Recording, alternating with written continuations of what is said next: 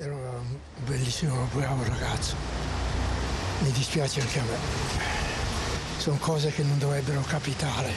Io che sono anziano, che ho visto la guerra, vedendo queste cose mi viene da piangere. Aveva 19 anni e un sogno. Per questo Gioele Leotta era partito da Nibionno, in provincia di Lecco, insieme ad un amico per l'Inghilterra. Voleva imparare l'inglese, lavorare e costruirsi un futuro.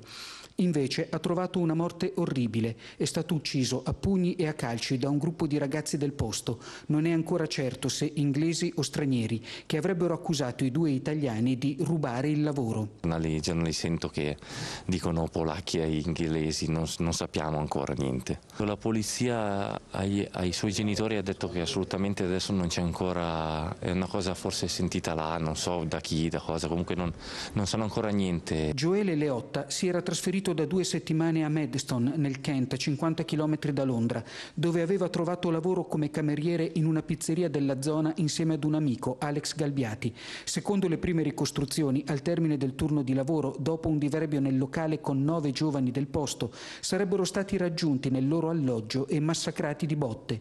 Gioele è deceduto in ospedale, l'amico ha subito lesioni ma è fuori pericolo. Gli aggressori sono stati fermati dalla polizia inglese. I familiari di Gioele sono partiti per il Kent. Al loro rientro nel giorno del funerale a Nibionno sarà lutto cittadino. Ho degli amici in Facebook che sono comuni ad entrambi, eh, i quali hanno, fin da ieri sera hanno postato molti messaggi di cordoglio e di vicinanza, eh, né odio né violenza né andiamo a fargliela pagare né sono quello che sono. Veramente un plauso a questi ragazzi che nella tragedia eh, hanno dimostrato di essere veramente maturi ed in gamba.